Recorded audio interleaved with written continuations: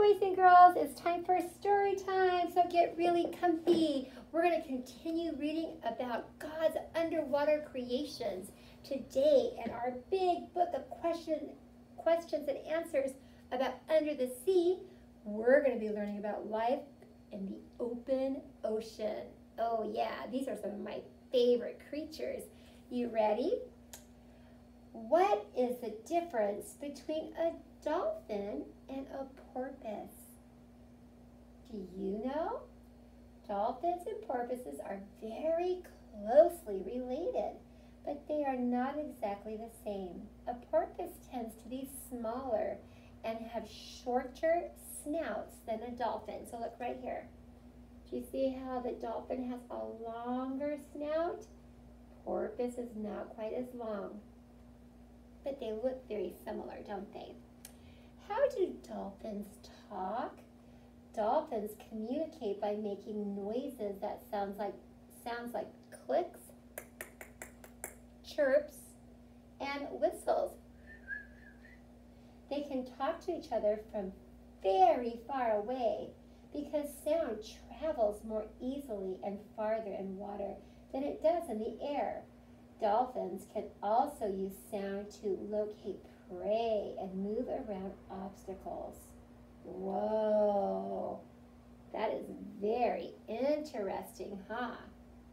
I like to listen to dolphins chirp and talk to one, another, one another. They're very playful and smart creatures. Why do some sharks have more than one row of teeth? Sharks need lots of teeth in case they lose some.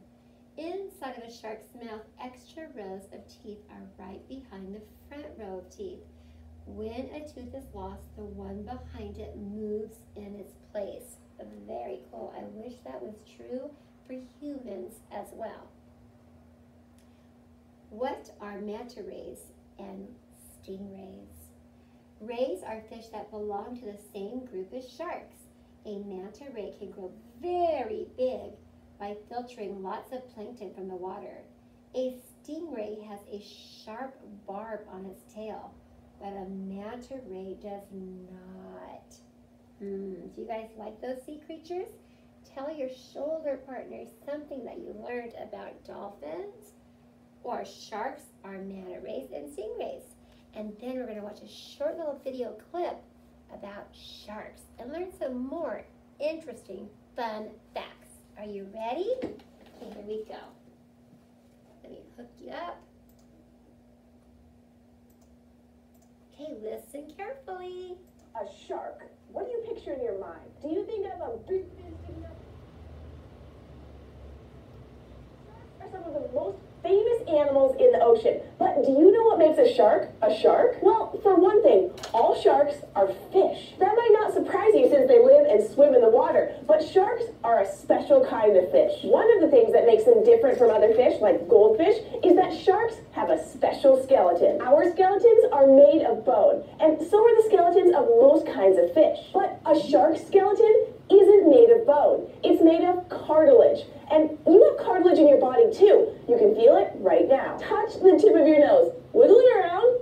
How's it feel? What about your ear? Can you bend it? You sure can. Because the tip of your nose and your ear aren't filled with bone. They're filled with cartilage. Cartilage is a lot lighter than bone, and it bends easily. So having a skeleton made of this stuff helps sharks swim farther and faster than if their skeletons were made of bone. Now let's look at another body part that sharks are famous for, their teeth. Have you ever lost a baby tooth and then an adult tooth grew in? Well, sharks lose their teeth all the time, throughout their entire lives, and they just keep growing new ones. How can they do that? You and I just have one row of teeth in our mouths, but sharks have lots of rows of teeth on the top and the bottom. So when a shark loses a tooth, another tooth that's right behind it can just move on up to take its place. Because they always have new teeth to replace the old ones, some sharks can lose thousands of teeth during their lives. All right, the next cool thing about sharks their skin. If you could rub the skin of a shark, you'd find that it would feel smooth if you ran your hand in one direction. But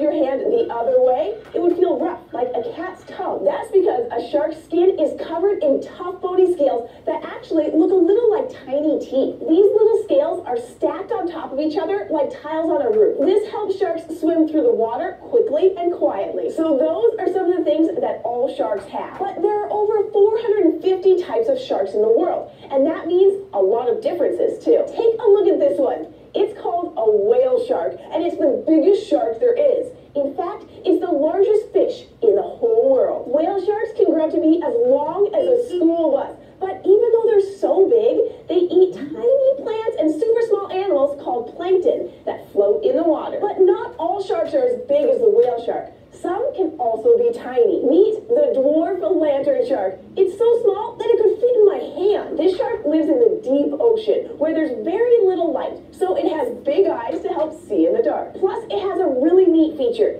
It has special organs on its belly, fins, and tail that Scientists think this might help the lantern shark lure and prey for it to eat. Plus, when it's in shallower water where there's more light, these glowing lights can help it blend in to avoid predators. Finally, I'd like you to meet a very special shark. Say hello to the Greenland shark. This big shark spends most of its time swimming in very cold water, hanging out near the sea floor, looking for an easy snack. But scientists have recently discovered something amazing about these animals. Greenland sharks can live to be up to 400 years old. Of all the animals in the world with backbones known as vertebrates, Greenland sharks live the longest, at least that we know of. But scientists are still discovering new kinds of sharks all the time. So who knows what kinds of super sharks are still out there waiting to be found. What's your favorite animal? Do you want to learn more about it? Just ask a grown-up to help you and leave a comment below or send us an email to kids at thescishow.com. We're excited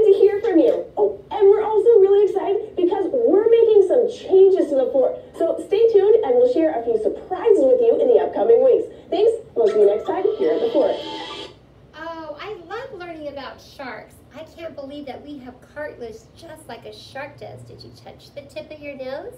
Does it bend and wiggle? Did you touch your earlobes too?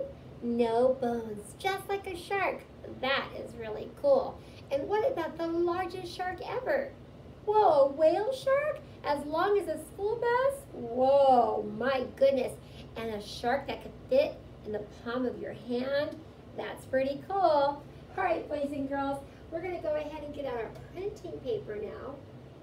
Our printing paper looks like this, and it looks like a little boy is going on an airplane trip, huh?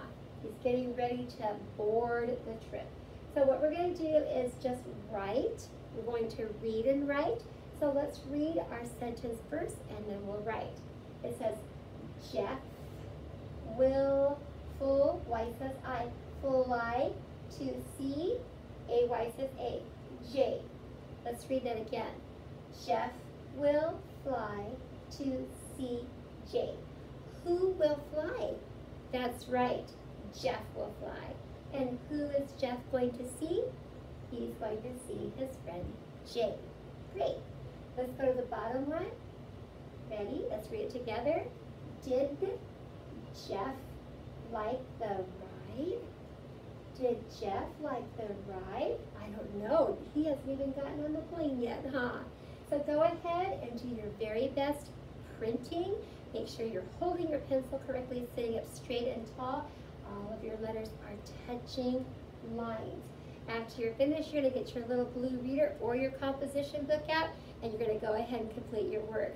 All right, great job, boys and girls. Love you.